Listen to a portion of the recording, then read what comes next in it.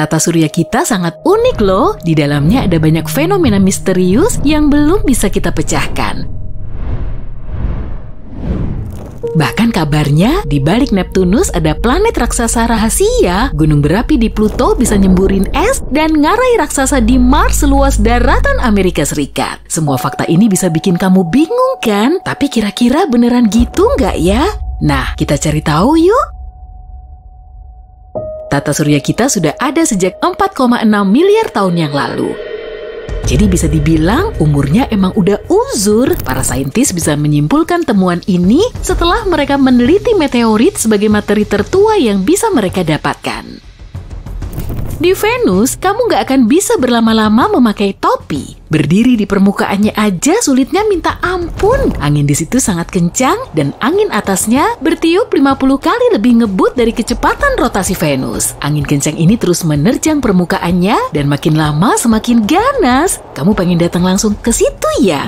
Oke, berarti kamu perlu menempuh perjalanan lebih dari 17 miliar kilometer dari bumi sebelum keluar dari tata surya. Jangan lupa bawa Google Maps ya.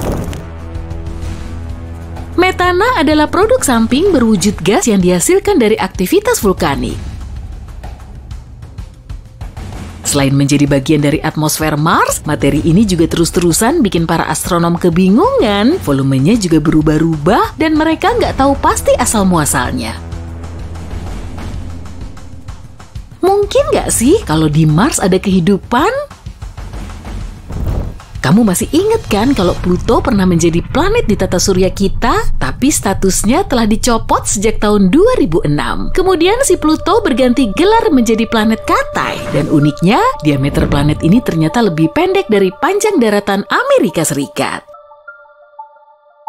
Jarak dari pesisir barat ke pesisir timur Amerika yaitu sekitar 4.300 km, sedangkan Pluto cuma berdiameter 2.300-an kilometer. Planet Uranus berotasi ke arah samping dan para astronom belum bisa ngejelasin alasan di balik posisi anehnya ini. Mungkin penyebabnya karena tabrakan dahsyat di masa lalu, tapi sejauh ini klaim tersebut cuma sebatas teori sih. Jadi memang cuma Uranus yang posisinya miring. Matahari kita gede banget. Gimana enggak? Masanya aja sampai 99,86% dari total masa tata surya, terutama hidrogen dan heliumnya. Sedangkan 0,14% sisanya menjadi masa dari kebanyakan planetnya. Aktivitas tektonik kemungkinan gak cuma terjadi di bumi, tapi juga ada di planet lain. Para astronom telah menemukan bentuk dataran mirip tebing di Merkurius. Jadi kemungkinan planet ini bisa mengecil sangat cepat karena dipicu oleh aktivitas tektonik. Di kebanyakan film sci-fi tentang luar angkasa, karakter utamanya akan masuk ke sabuk asteroid sambil terus menangkis gempuran batu luar angkasa. Objek antariksa ini jelas sangat membahayakan pesawatnya, tapi kenyataannya nggak seheboh itu kok. Satu-satunya sabuk asteroid yang diketahui astronom berada di antara Mars dan Jupiter. Di area itu memang ada ribuan asteroid, tapi jaraknya sangat berjauhan, jadi kemungkinan besar nggak saling bertabrakan.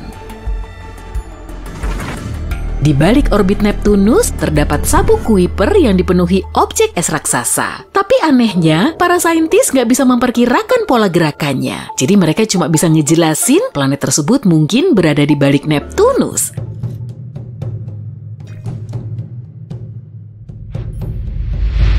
Planet hipotetis ini diberi nama Planet 9 dan keberadaannya masih perlu dikonfirmasi. Perbedaan antara gunung berapi di bumi dan di Pluto ibarat seperti api dan es. Beneran, gunung berapi di bumi ngeluarin lava, tapi kalau di Pluto ngeluarin es. Jadi saat membeku, air mulai memuai dan tekanan kuat ini terus terakumulasi sampai akhirnya duar. Esnya meletus. Akibat dari proses ini, terbentuklah kriovolcano baru. Salah satu satelit Saturnus, Lapetus, memiliki dua warna unik. Salah satu sisinya disinari cahaya terang, tapi sisi lainnya gelap mencekam. Dan para ilmuwan masih belum bisa menyingkap misteri ini. Pilihan lain soal Pluto bisa terlihat di atmosfernya. Atmosfer di planet Katai ini jauh lebih tinggi dibandingkan atmosfer bumi. Di dalamnya juga ada lebih dari 20 lapisan yang semuanya sangat dingin dan super padat. Kita hidup di dalam matahari. Waduh, maksudnya gimana tuh? Masa iya sih kita menghuni bola panas kemerahan sejauh 150 juta kilometer itu? Enggak lah, tapi atmosfer matahari membentang jauh sampai keluar dari permukaan yang terlihat. Dan bumi kita masih berada di dalam jangkauannya. Malahan, hembusan angin suryalah yang menciptakan fenomena menawan seperti aurora. Lautan di Jupiter lebih luas dari semua laut di tata surya kita. Hmm, tapi kok beda ya dari laut yang biasa kita lihat? Gak seperti di bumi yang dipenuhi air, lautan di Jupiter berisi hidrogen metalik. Dan kedalamannya mencapai 40.000 km atau hampir setara dengan keliling bumi. Atmosfer matahari lebih panas dari permukaan sang bintang, suhu permukaannya mencapai 5500 derajat Celcius, tapi di atmosfer atasnya bisa sampai ratusan ribu derajat Celcius. Dan menurut dugaan para saintis, semburan panas dari matahari punya keterkaitan dengan fenomena unik ini. Cincin indah Saturnus pertama kali teramati pada tahun 1600-an. Dan ternyata beberapa planet lain juga bercincin loh. Semua planet gas raksasa, Uranus, Neptunus, dan Jupiter diketahui memiliki cincin, tapi cincinnya ini sangat tipis dan sulit dilihat. Tapi planet Mars, Venus, dan Bumi terdiri dari batu, jadi nggak memiliki cincin. Galaksi Bima Sakti nggak cuma menaungi tata surya kita, Galaksi yang kita tempati ini memiliki 100 miliar tata surya. Itu baru di galaksi kita aja loh. Pasti jumlah totalnya di seluruh alam semesta bakalan banyak banget tuh. Batuan dari Mars bisa ditemukan di bumi kita. Para saintis telah menganalisis kandungan kimia meteorit yang ditemukan di gurun Sahara, Antartika, dan berbagai tempat lain. Dan mereka dibikin kaget bukan main setelah tahu kalau sampel tersebut berasal dari Mars. Karena jaraknya paling dekat dengan matahari, Merkurius sering dianggap paling ngebul, padahal kenyataannya nggak begitu loh. Venus ternyata lebih panas dari Merkurius, meski jaraknya terpaut 48 juta kilometer dari jarak matahari ke Merkurius. Planet ini punya atmosfer yang sangat tebal, sekitar 100 kali lebih padat dari atmosfer bumi. Kebanyakan atmosfernya juga mengandung karbon dioksida alias gas rumah kaca. Makanya, suhu Venus bisa naik sampai 468 derajat Celcius. Suhu segitu bisa dipakai untuk lelehin timah loh. Tapi kalau di Merkurius, suhu maksimumnya cuma mencapai 427 derajat Celcius. Kondisi di satelit Jupiter Io selalu bergejolak karena ratusan gunung berapinya terus ngepul. Dan dari dekat, kamu bisa ngelihat asapnya yang membumbung tinggi ke atmosfer Io. Sejauh ini gunung berapi paling besar di seluruh tata surya berlokasi di Mars. Diameternya kurang lebih 624 km dan tingginya setara dengan Gunung Everest. Tapi gimana ya bisa ada gunung segede itu? Jawabannya gampang aja, gravitasi di Mars lebih lemah daripada gravitasi di bumi.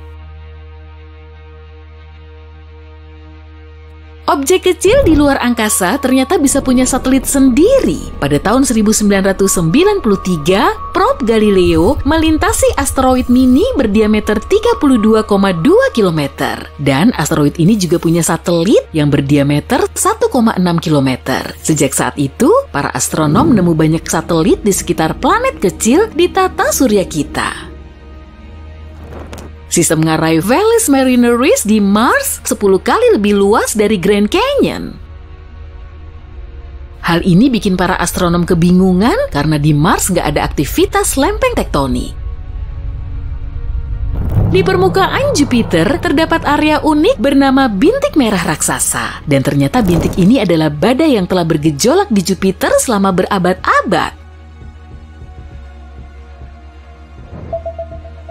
Tapi sekitar 20 tahun yang lalu, para saintis mengamati area merahnya mulai mengecil, jadi ukurannya sekarang tinggal setengah kalinya. Itu pun masih setengah kali lebih gede dari bumi. Gimana? Ada fakta unik seputar tata surya yang kelewatan nggak? Komen di bawah ya, kamu jadi semakin tahu kan? Jangan lupa kasih like-nya dan share video ini ke teman-temanmu. Ada juga video mantul lainnya yang bisa kamu tonton. Pilih aja video favoritmu di sebelah kiri atau kanan layar dan tetaplah di sisi terang kehidupan. Tidak ada yang akan mendengar tangisanmu di luar angkasa. Kira-kira seperti itulah kita semua pernah mendengar ungkapan menakutkan ini. Dan itu memang benar. Sebagian besar wilayah antariksa terdiri dari kehampaan raksasa. Ada banyak sekali ruang di luar angkasa, tapi ini bukan berarti tidak ada suara di luar angkasa. Malahan ada banyak suara dan beberapa di antaranya bahkan bisa membuatmu gemetar. Yuk kita simak suara-suara luar angkasa paling menakutkan. Oke, pertama-tama bagaimana sih suara kosmik bisa terekam? Suara hanyalah getaran molekul saat berteriak, molekul-molekul saling mendorong dengan keras hingga mencapai telinga orang yang kamu teriaki. Kemudian, getaran ini dikirim ke otak dan kita mengartikannya sebagai sesuatu yang mungkin membuatmu perlu meminta maaf dengan kata lain, untuk mendengar sesuatu kita butuh molekul. Dan di situlah masalahnya, tidak ada satupun molekul di luar angkasa. Seluruh alam semesta hampir sepenuhnya terdiri dari ruang vakum, bukan bukan vakum cleaner, tapi kehampaan mutlak. Meski begitu, para ilmuwan NASA masih bisa merekam suara luar angkasa. Kok bisa? Begini, ada beberapa jenis gelombang yang tidak peduli dengan molekul. Kita manusia biasa tidak bisa merasakannya tanpa alat khusus. Gelombang ini meliputi gelombang radio. Kita memerlukan radio atau alat lain untuk mendengarnya, dan itulah yang dilakukan oleh satelit-satelit NASA. Mereka menangkap berbagai gelombang radio. Berkat bantuan satelit-satelit ini, kita bisa tahu betapa berbedanya suara benda-benda langit. Satelit-satelit ini merekam berbagai macam gelombang, fluktuasi plasma, medan magnet, dan hal-hal lainnya. Kemudian para ilmuwan NASA mengubah semua itu menjadi rekaman audio biasa. Dan beberapa di antaranya terdengar lumayan menakutkan. Kita ambil contoh medan magnet. Medan magnet mengelilingi planet kita seperti perisai tak kasat mata, melindungi kita dari segala hal buruk seperti radiasi atau angin surya. Pada saat yang sama, kita tidak bisa melihatnya, merasakannya, atau mendengarnya. Ups, untuk yang terakhir sudah tidak berlaku lagi ya. Para ilmuwan dari Technical University of Denmark mengambil gelombang magnetik yang direkam oleh satelit ESA Swarm dan mengubahnya menjadi bentuk audio dan mendapatkan hasil yang cukup menyeramkan. Jujur aja, ini lebih mirip entitas menakutkan yang menguntitmu di tengah malam. Kalau kamu ingat peta medan magnet bumi, suaranya akan terasa seperti laba-laba yang merayap di dekatmu. Duh, dan ini bukan suara aneh pertama yang berhasil direkam di bumi. Baru-baru ini kita menangkap emisi radio aneh lain dari luar angkasa. Para ilmuwan mendeteksi bahwa sinyal yang berulang-ulang itu berasal dari suatu tempat yang sangat jauh, miliaran tahun cahaya dari bumi. Ledakan radio cepat seperti itu biasanya berlangsung tidak lebih dari beberapa mili detik, tapi yang satu ini unik. Ledakan ini berlangsung sekitar 3 detik artinya ribuan kali lebih lama dari biasanya. Dan pada saat yang sama, sinyalnya sangat presisi sampai-sampai para ilmuwan membandingkannya dengan detak jantung. Para ilmuwan percaya sinyal ini disebabkan oleh pulsar atau bintang neutron. Dulu Nikola Tesla pernah menangkap hal serupa, tapi sayangnya pada masa ini kita belum tahu tentang hal-hal seperti pulsar. Jadi, Tesla yakin bahwa dia telah menerima pesan dari makhluk luar angkasa. Sayang sekali kebenarannya ternyata jauh lebih membosankan. Yuk kita beralih dari bumi ke bulan. Pada tahun 1969, para astronot misi Apollo 10, pesawat antariksa yang melakukan uji coba terakhir ke bulan, terbang melintasi permukaan bulan. Dan kemudian mereka menangkap sinyal-sinyal aneh yang berasal dari sisi gelap bulan. Sisi itu tidak pernah kita lihat karena bulan terkunci pasang surut terhadap bumi. Suara itu sangat aneh sehingga para astronot tidak yakin apakah mereka harus melaporkannya kepada NASA. Mereka takut tidak akan ditanggapi serius dan bahkan mungkin tidak diizinkan untuk ikut dalam misi luar angkasa berikutnya. Seperti inilah suaranya. Tapi menurut NASA, itu sama sekali bukan musik luar angkasa yang menyeramkan. Itu mungkin hanya gelombang radio yang saling mempengaruhi satu sama lain karena jaraknya yang berdekatan. Tapi para astronot yang pertama mendengarnya mungkin merasa sedikit ngeri kita lanjut ke planet lain. 40 tahun lalu, para ilmuwan secara aktif menjelajahi permukaan Venus. Mereka mengirim sebanyak 10 wahana tanpa awak ke sana yang diharapkan bisa menangkap rekaman audio dan video dari permukaannya. Sekarang kita tahu seperti apa suara Venus yang dapat dengan mudah menghancurkan kita jika kita mendekatinya. Mengerikan! Dan itu bukan hal yang mengejutkan dari planet paling berbahaya di tata surya ini. Sayangnya, Venus bahkan lebih toksik daripada rata-rata pengguna Twitter. Jadi wahana ini tidak bertahan lama. Wahana-wahana itu tiba dengan heroik di planet ini dan langsung rusak. Berikutnya adalah Jupiter Raksasa luar angkasa yang sebelas kali lebih besar dari bumi ini selalu berhasil menakuti kita. Salah satu wahana tanpa awak milik NASA, Juno, terbang mengelilingi Jupiter setiap beberapa minggu sekali. Wahana ini bergerak dengan kecepatan yang luar biasa, yaitu sekitar 209.000 km per jam. Suatu ketika, Juno menangkap salah satu sinyal tak kasat mata terkuat yang pernah ditemuinya. Ini adalah titik di mana angin surya yang dahsyat bertabrakan dengan medan magnet Jupiter. Suara itu terdengar seperti dentuman kosmik, suara aslinya berdurasi dua jam tapi diringkas menjadi beberapa detik. Suara itu terdengar mirip deburan ombak yang menghantam batu karang.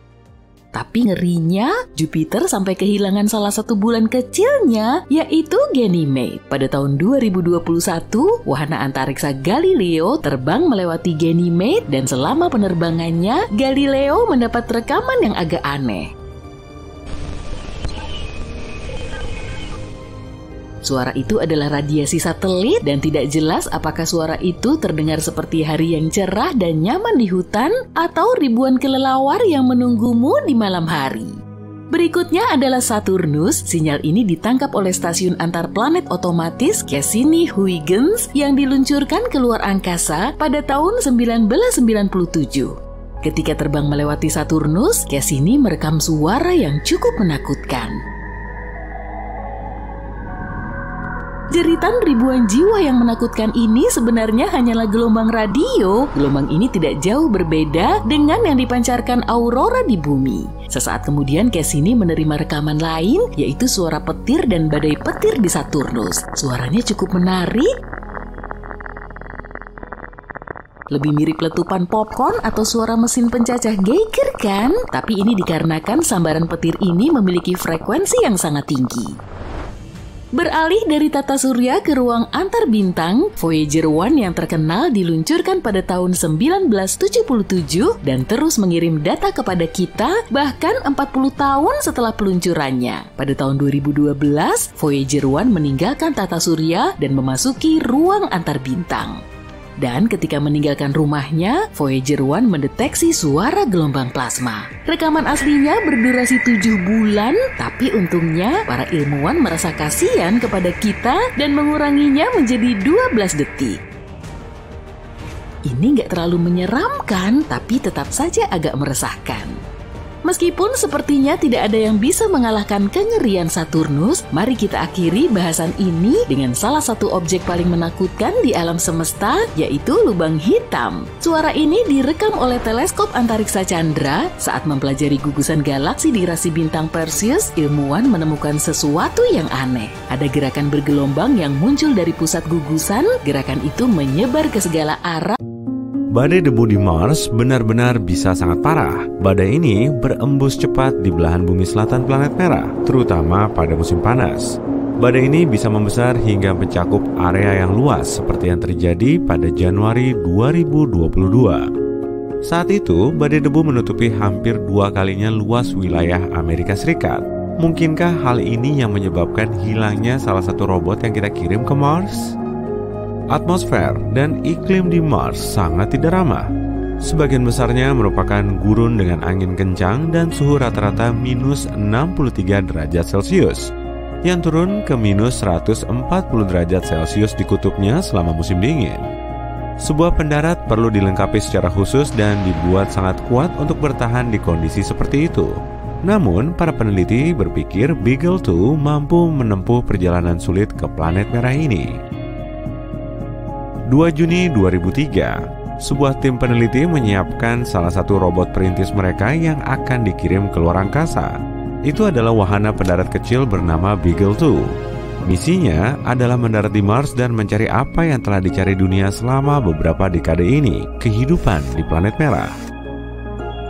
Beagle 2 dijadwalkan sampai pada 25 Desember, tapi sinyalnya tak kunjung datang. Tim pun mencoba menghubungi pesawat antariksa itu, tapi pada akhirnya mereka harus menerima bahwa mereka tak akan bisa menghubunginya. Beberapa orang menganggap pendaratan itu terlalu sulit dan rumit, jadi pendarat itu rusak. Tapi mereka tak menemukan kesalahan teknis apa pun. Yang lain berteori, pendarat itu mungkin terjerat parasutnya sendiri dan jatuh ke permukaan Mars. Mau yang mana pun, Beagle 2 dianggap hilang. Namun, pada tahun 2015, NASA memotret sesuatu yang mungkin adalah sisa-sisa pendarat hilang itu. Bukan cuma puing-puing hancur, komponennya benar-benar terlihat utuh. Bangkai pendarat ini tergeletak bersama panel surya yang sudah sebagian terbuka sekitar 5 km dari lokasi tempat pendaratan semestinya. Rupanya, Beagle 2 berhasil mendarat tapi antena radionya terhalang. Makanya, para peneliti tidak bisa mengendalikannya dari bumi atau berkomunikasi dengannya. Tapi tak ada yang tahu persis kenapa itu terjadi. Apa kamu pernah dengar soal wajah yang ada di Mars? Pada tahun 1970-an, salah satu pesawat antariksa NASA mengambil foto ikonis permukaan Mars yang menunjukkan formasi mirip wajah, seperti yang kamu lihat di bagian atas foto ini. Kalau imajinasimu tinggi, kamu bisa dengan mudah melihat hidung, dua mata, mulut, dan tatanan rambut yang agak unik. Beberapa bahkan mengira itu adalah monumen yang dibangun di planet merah oleh peradaban lain. Gimana dengan hal unik lainnya yang ditemukan orang-orang di Mars? Seperti kawah wajah bahagia. Kamu bisa lihat kenapa tempat ini dijuluki demikian. Atau batu dalam bentuk pancake Brachiosaurus atau ikan. Mars juga punya pulau berbentuk waffle di permukaannya. Ini adalah fitur selebar 2 km yang bisa kamu lihat di area aliran lava. Mungkin ini disebabkan oleh lava yang mendorong formasi ini dari bawah. Tampaknya, para astronom juga mendapatkan beberapa foto bukit pasir biru. Ini adalah lautan bukit pasir gelap menakjubkan yang diukir oleh angin kencang menjadi garis panjang. Bukit ini mengelilingi tudung kutub utara planet itu dan mencakup wilayah seluas Texas. Planet merah biasanya dikenal dengan bukit pasirnya yang berwarna coklat, jadi yang satu ini tentu mengejutkan. Namun, nyatanya bukit ini nggak benar-benar biru. Kalau kamu bisa mengunjungi Mars sekarang, cuma buat lihat-lihat sebentar, kamu akan tahu bukit pasir ini berwarna coklat dan jingga seperti yang lainnya. Foto itu adalah foto dengan warna palsu. Para ilmuwan sering menggunakan warna palsu untuk menyoroti perbedaan dalam sesuatu. Misalnya, di sini perbedaan kedalaman. Selain itu, lembah terbesar di Mars sangatlah besar sehingga bisa memakan Grand Canyon kita untuk sarapan. Ini merupakan sistem ngarai menakjubkan sepanjang 4000 km yang disebut Via Marineris dan panjangnya 10 kali lipat Grand Canyon. Kalau kamu bisa merentangkan ngarai Mars ini, panjangnya akan membentang dari pantai barat ke timur di Amerika Serikat. Karena Mars nggak punya lempeng tektonik aktif, nggak ada yang tahu pasti bagaimana ngarai ini terbentuk. Satu teori mengatakan rantai gunung berapi yang terletak di sisi lain Mars yang ada Olympus Mons-nya menggeser kerak planet ini dari sisi berlawanan. Kekuatan yang kuat ini menyebabkan retakan di kerak Mars serta mengaktifkan sejumlah besar air yang terletak di bawah permukaan. Air ini kemudian muncul dan mengukir batu itu. Kekuatannya juga mengaktifkan gletser, dan ini mungkin menciptakan jalur baru dalam sistem ngarai raksasa itu. Gunung berapi di permukaan Mars mungkin sudah meletus sekitar 50.000 tahun lalu, meski letusan terkuatnya terjadi 3 4 miliar tahun lalu. tapi planet ini tidak punya gunung berapi aktif saat ini. Sebagian besar panas yang tersimpan di bagian dalamnya selama pembentukan planet telah hilang. Jadi, sekarang kerak luar Mars terlalu tebal untuk batuan cair bisa mencapai permukaan. Namun dahulu kala, letusan tersebut membentuk gunung berapi raksasa. Dan gunung berapi ini kemungkinan besar memiliki peran penting dalam mencairkan endapan es yang melepaskan banjir ke permukaan Mars. Mars memiliki atmosfer tipis dengan volume gas yang kebanyakannya karbon dioksida, kurang dari satu persen volumenya bumi. Tapi 4 miliar tahun lalu, kondisinya jauh lebih hangat dan lembab. Atmosfernya pasti lebih tebal juga saat itu. Itu sebabnya efek rumah kaca yang kuat bisa terbentuk dan menjebak sinar matahari.